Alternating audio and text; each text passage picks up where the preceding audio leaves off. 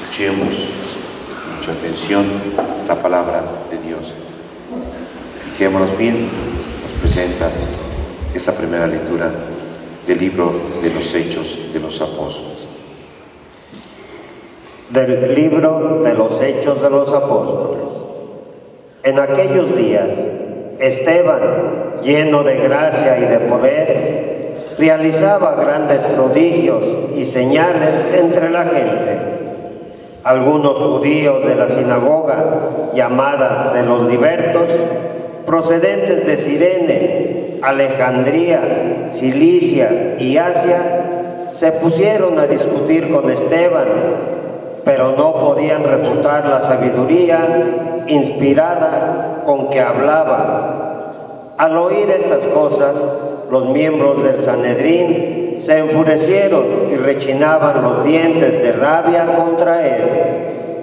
Pero Esteban, lleno del Espíritu Santo, miró al cielo, vio la gloria de Dios y a Jesús que estaba de pie a la derecha de Dios y dijo, estoy viendo los cielos abiertos y al Hijo del Hombre de pie a la derecha de Dios.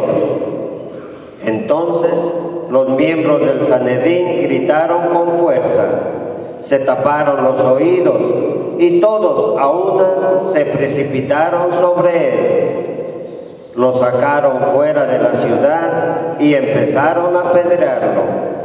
Los falsos testigos depositaron sus mantos a los pies de un joven llamado Saulo. Mientras lo apedreaban, Esteban repetía esta oración, Señor Jesús, recibe mi espíritu.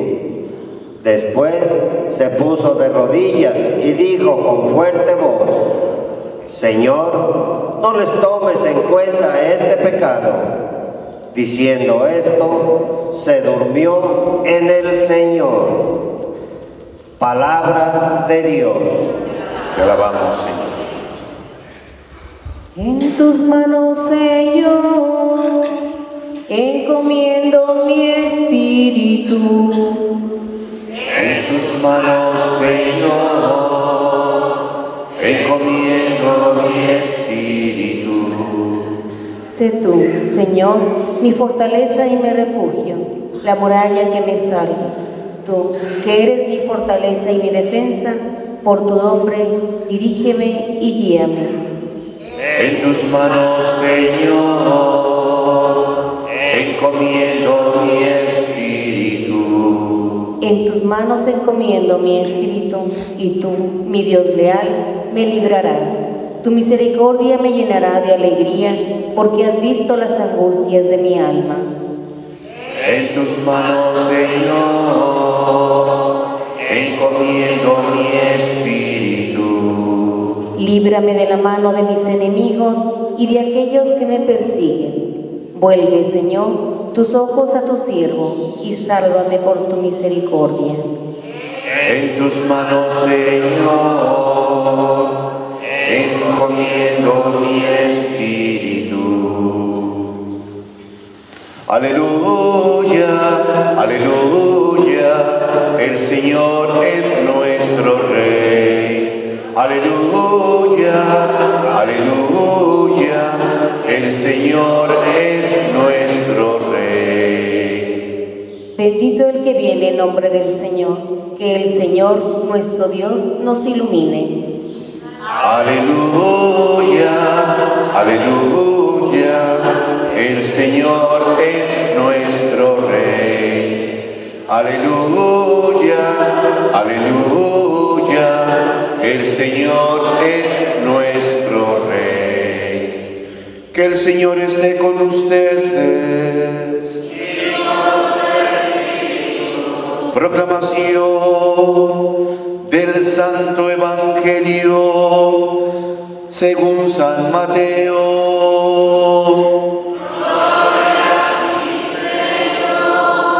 En aquel tiempo Jesús dijo a sus apóstoles, cuídense de la gente, porque los llevarán a los tribunales, los azotarán en las sinagogas, los llevarán ante gobernadores y reyes por mi causa Así darán testimonio de mí ante ellos y ante los paganos. Pero cuando los, cuando los enjuicien, no se preocupen por lo que van a decir o por la forma de decirlo, porque en ese momento se les inspirarán lo que han de decir. Pues no serán ustedes los que hablen, sino el Espíritu de su Padre el que hablará por ustedes. El hermano entregará a su hermano a la muerte y el padre a su hijo. Los hijos se levantarán contra sus padres y los matarán. Todos los odiarán a ustedes por mi causa, pero el que persevere hasta el fin se salvará. Palabra del Señor. Gloria a ti, Señor Jesús. Siente su momentito.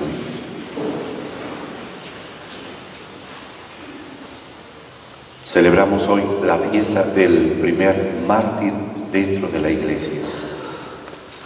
San Esteban era uno de los siete diáconos cuando los apóstoles se encontraron con un problema. El problema fue que no podían ellos atender a los huérfanos, a las viudas y estar enseñando el Evangelio. Decían ellos que era muy pesado, era mucho trabajo y no alcanzaba. Todo eso comenzó porque las viudas comenzaron a protestar y decir es que no se nos atiende. ¿Qué es lo que se tiene que hacer? Estamos pidiendo ayuda y no se nos ha dado esa ayuda que necesitamos. Las viudas, como no tenían un ingreso, junto con sus hijos huérfanos, ese era su problema. De manera que fueron ante los apóstoles para poder pedir una solución a su problema. Y dijeron ellos, es que no podemos dejar el oficio de la predicación por atenderlos a ellos. Vamos en la comunidad a nombrar siete diáconos. Diaconía, que significa servicio. Que ellos se encarguen del servicio, de la mesa, del altar y atiendan a los huérfanos y a las viudas en sus necesidades. Muy bien. Eligieron siete y entre ellos estaba Esteban.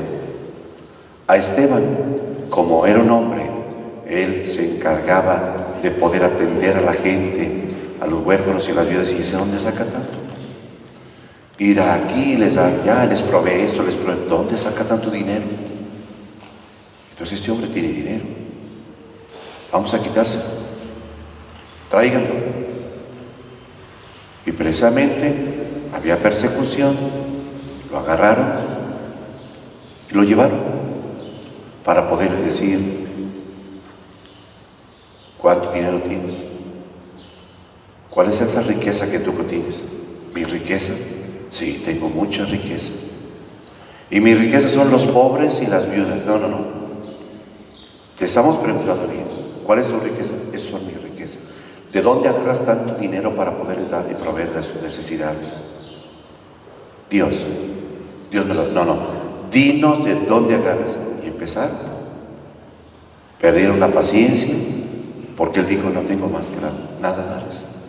Solamente es a los, mis riquezas son los huérfanos y las viudas. Es todo lo que tengo. Pero ¿cómo le haces para Dios me provee de todo eso? La providencia de Dios. Y no le creyeron.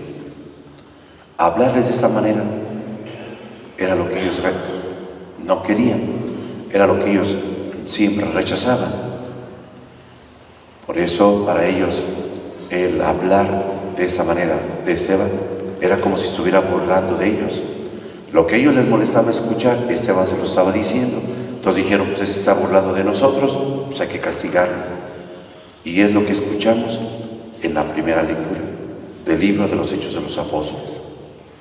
Cómo lo sacaron, lo llevaron fuera lo apedrearon y él dijo, estoy viendo los cielos y está viendo al Hijo del Hombre. Uh, eso les molestó. Por eso se balanzaron, era mucho coraje y odio que tenían contra él. Y lo golpearon. Al golpearlo, pues lo apedrearon y él antes de morir ora a Dios por sus verdugos. Señor, no les tomes en cuenta lo que han hecho. Un hombre que lo está matando y todavía se pone a orar, a pedir por sus verdugos para que Dios les perdone. Es el testimonio que dio eh, Esteban. Por eso es el primer, es el primer mártir que tiene la iglesia y ha sido como un testimonio de alguien firme, de alguien que quisieron que renunciara al servicio, a su fe, y nunca lo hizo. Esa es la vocación del que sirve. Un testimonio en la iglesia, el servidor de los demás. Por eso, el diácono es ese, el que sirve. El diácono se encarga de proclamar la palabra de Dios. El diácono se encarga del servicio del altar. Un diácono dentro de la iglesia puede casar, puede bautizar, pero no puede consagrar porque no tiene la potestad que tiene el sacerdote. No puede confesar porque no puede perdonar, no tiene la potestad de perdonar los pecados. Puede bautizar, puede casar, hasta ahí. Puede preparar el altar, pero no puede consagrar. Esteban, siendo ese modelo de diácono, era su entrega, su martirio. Pero veamos, martirio, sí, el martirio. ¿Y qué viene siendo un martirio? Mártir significa testigo. Y el mártir es el que va a dar testigo, va a, va a dar testimonio con su propia vida. Pero los colores que hoy usamos son color rojo, signo del martirio, la sangre derramada por este gran santo. Pero el martirio no está solamente en que va a sufrir eh, porque lo van a, va a derramar sangre. El martirio está en los insultos. El martirio es la humillación. El martirio es todo ese dolor y sufrimiento que una persona va llevando. Es lo que va sufriendo también por dentro. Es un martirio, está martirizándose. Una enfermedad también es un signo de un martirio. La enfermedad lo va martirizando, lo va acabando. Quiero que entendamos, pues, que el martirio de Cristo, pasión, muerte en la cruz, pero Cristo fue rechazado. Si vemos desde el momento en que no hubo lugar para él en Belén, hay que huir porque lo tratan de matar. Es decir, todos esos son momentos de sufrimiento, de dolor, y es un martirio, porque está testificando con su propia vida da testimonio con su vida. Ese es el mártir, que con su propia vida se sacrifica para manifestar algo. Y en ese caso, Esteban, con su propio martirio sufrimiento, todo lo que él vivió y lo que él hizo, no fue solamente porque lo mataron así, sino su testimonio de vida, cómo lo testificó, su entrega, y a pesar de que lo amenazaron y, lo trataron mal y demás, él siguió firme, firme en su propia fe, por amor a Cristo, porque había una causa por la cual estaba sufriendo él, por Cristo. Porque para él una razón muy importante era Cristo Jesús. Su entrega era por él. El servicio a los enfermos, el servicio a las viudas, a los huérfanos, era por Cristo por amor a Cristo, porque tenía muy claro en su mente y en su corazón que lo que estaba realizando el sacrificio era por amor a Cristo, el cual había conocido por medio de los apóstoles, el cual él sentía en su propio corazón y estaba convencido de la verdad, y la verdad era Cristo Jesús.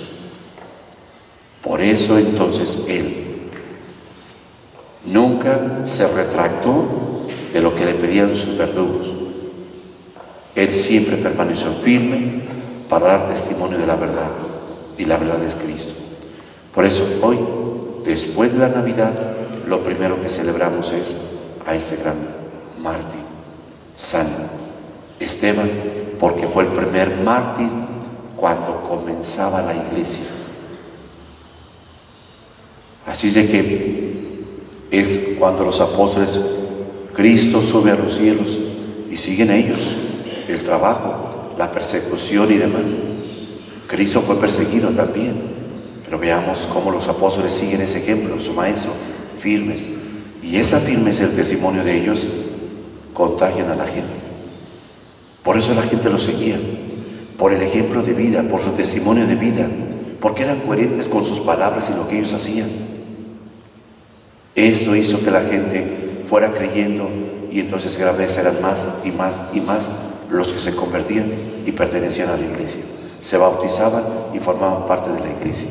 Así nació la iglesia con el testimonio de vida. Por eso, hoy para nosotros debemos de entender lo que dice el Evangelio. Cuídense de la gente. Sí, hay que cuidarse de quienes no nos van a comprender. Porque cuando Esteban estaba hablándoles a sus verdugos, para ellos fue una ofensa hablar de su fe. Si ustedes se fijan, habrá personas que en cuanto empecemos a hablar de nuestra experiencia con Cristo Jesús, somos atacados, odiados, les molesta. ¿Pero por qué les molesta? Les molesta que hablemos de nuestra experiencia de ser felices, porque ellos no lo son.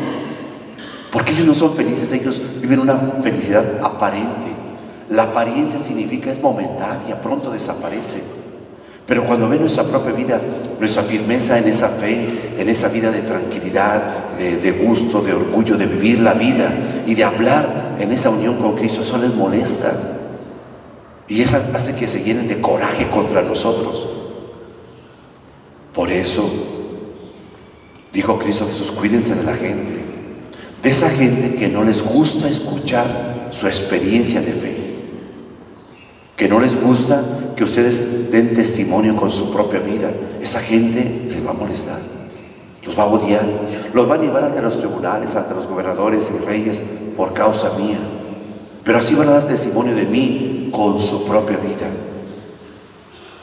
Podrán escuchar muchas palabras, pero lo más importante es la vida. Porque la vida les va a convencer, el ejemplo les va a arrastrar.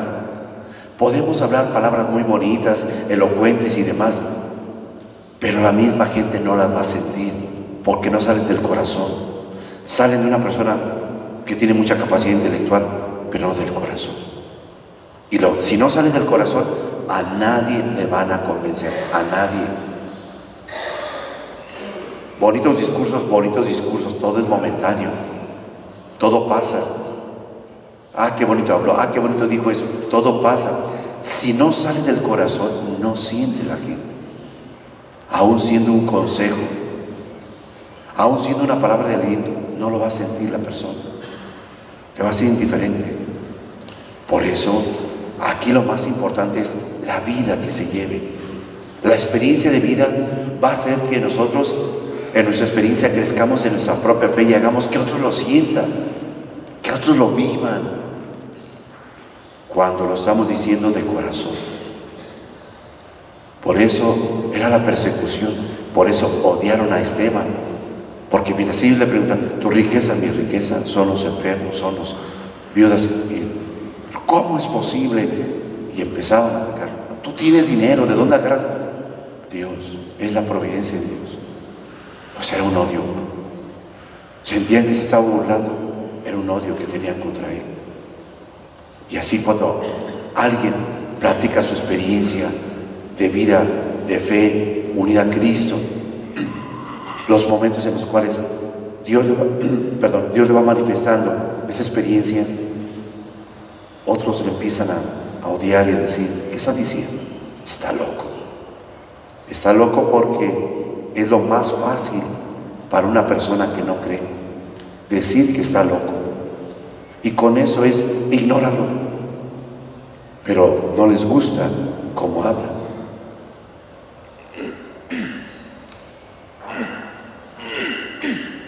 Perdón. No les gusta lo que están hablando porque no lo viven. Les da envidia saber que el otro es feliz en su experiencia y ellos no han logrado conseguir esa experiencia porque no quieren. Porque se les hace más fácil la vida que ellos llevan pero una vida mediocre. Pero si les gusta vivir, viven así porque eso quieren. Por eso en cuanto encontremos quienes nos odian, nos atacan, nos juzgan, nos critican, hablan cosas falsas nuestras, esa es parte del que vive su fe, del que se mantiene firme en su propia fe. Fue lo que hizo Esteban, pero veía en otra parte. Y dice Cristo Jesús, el hermano entregará a su hermano al amor. Los padres estarán contra los hijos y los hijos contra los padres. Porque no me gusta que me mandes. Porque no me gustas, no me gusta que me digas, haz esto y esto otro. Porque no me gusta que me digas lo que yo debo de hacer. Pero es tu fe, es por el bien tuyo. No, no y no. No quiero. Por eso se ponen en contra de los padres. Los padres en contra de los hijos al ver que no viven una vida de temor de Dios. El hermano entregará a su hermano porque, porque el hermano está dando testimonio y el otro le da envidia, le molesta su luz. Sí, le molesta su luz. Porque hay algo en aquella persona que convence. Por eso hay quienes en sus propios hogares, cuando se ve el cambio de vida y después de haberse levantado, haber tenido su conversión, haber empezado una nueva vida y empieza, sus actitudes les molesta. Y los primeros que les molestan es su propia familia. Los primeros que lo atacan son su propia familia. Cuando deberían de gozarse, de, regocijarse con Él, de poder emocionarse, si ya volvió por el buen camino, andaba mal y ya volvió. Bendito sea Dios, no, atacar, atacar y atacar. No te da gusto que se haya levantado. No te da gusto que haya enderezado su vida después de tanto tiempo, ni le creo. Te molesta, porque tuvo el valor de poder vencer su tentación, su vicio, dejar su mala vida. Y te molesta su luz, sí, porque ha cambiado. Molesta esa luz. Y entonces les molesta nuestra luz, nuestra propia presencia. Por eso somos odiados, atacados, difamados. Pero eso va a pasar siempre. Está escrito, siempre va a pasar. Pero dijo Cristo, recuerden una cosa, lo que ustedes le hagan, les hagan. A mí primero, me lo hicieron. A ustedes lo rechazan, a mí me rechazaron. Y los de mi propia casa, los de mi propia familia, mis propios parientes a mí me, me rechazaron. Me ignoraron, me atacaron y demás. ¿Qué les pueden hacer a ustedes? Lo mismo que a mí. En ese día regocíjense, salten de contento, porque su recompensa será grande en el cielo. Por eso el martirio está en eso. Cuando escucho que me ruñen porque, porque rezo, porque hago eso, porque... Eso lo van a hacer. Pero ¿por qué si no me meto con ellos? Por eso. Porque les molesta tu vida. Porque ellos no son felices. Y como no soy feliz, me molesta este que es feliz. Y así vendrá eso. Por eso el hermano entregará a su hermano, sí, lo va a entregar porque lo va a difamar. Le va a molestar como es. Y eso sucede siempre. Oye, tu hermano, eh, después de que esa vida que llevaba, y ahora ya es eso, ah, sí, es esto, lo otro, y, empieza, pues como si es su hermano, así sucede. Y así el hermano puede ser el prójimo, puede ser el vecino, el compañero de trabajo, es tu hermano.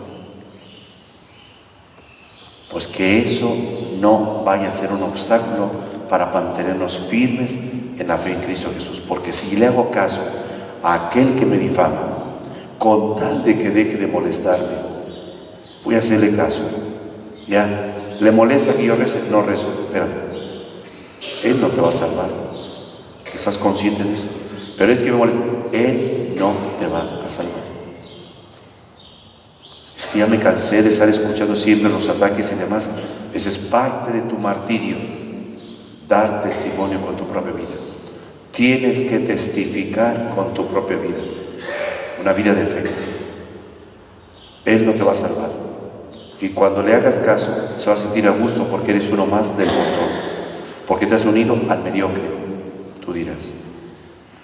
¿Y cómo le hago para nada tiene que hacer? Usted no se cansará por su fe, Él se cansará de hablar. Y un día el pez por la boca muere. Solito él mismo va a decir que tiene necesidad de vivir la vida que tú vives. Y es cuando tú tienes que permanecer. Si tú permaneces firme, él solito va a aceptar. Si tú caes con él, dirás, ahí está, entonces no siento. ¿Qué aceptó?